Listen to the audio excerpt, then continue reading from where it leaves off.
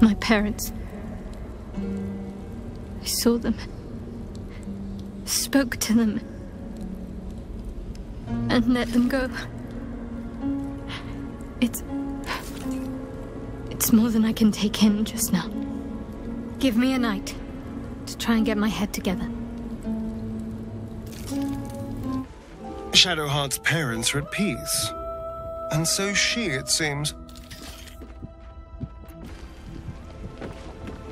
What Shadowheart did for her parents was a profound act of love. Her courage is. Well, it's quite something to behold.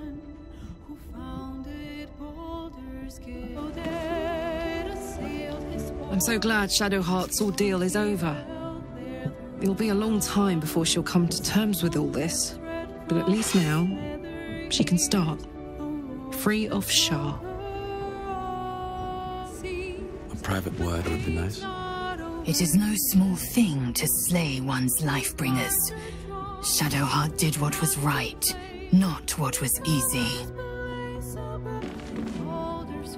What we did might feel an evil thing, I know. But if Minsc was not saved from the cult, was used to hurt those who only meant to help him, I think that ending Minsc might have been a way of saving Minsc too. Ever will Shar try to twist bonds of love into chains of service. Shadowheart did not let her. I cannot presume to know her parents, or what they suffered. But I know that they were proud, in the end. A cruel task fell to Shadowheart. But she did as her parents wished. She has my eternal respect. And I hope she soon finds peace. Shadowheart's memories will be a heavy load for her to carry.